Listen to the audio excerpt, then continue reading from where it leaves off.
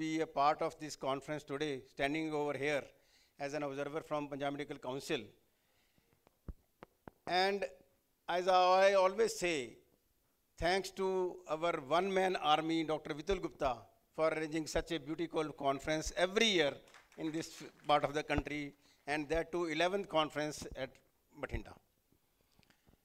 When I stand over here, I am uh, reminded of the fact that how important it is to stay abreast with the latest development and technologies in the field of medicine if we want to continue to provide the best health care to our ailing community and the patients.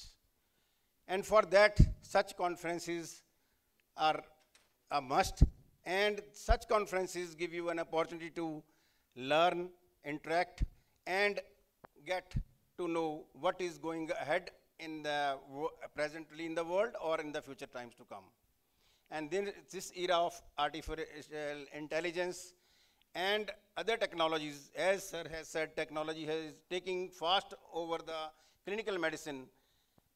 At least we have to know what is technology, what is AI, and how to implement it in our medical day-to-day practice, if, even if we cannot afford it. And today's conference is one of those uh, opportunities which will give you that knowledge. So, from the Punjab Medical Council, which is always encouraging such conferences, good work being done for the benefit of the society and betterment of the medical professionals, I announce, as already declared, 16 credit hours for this conference.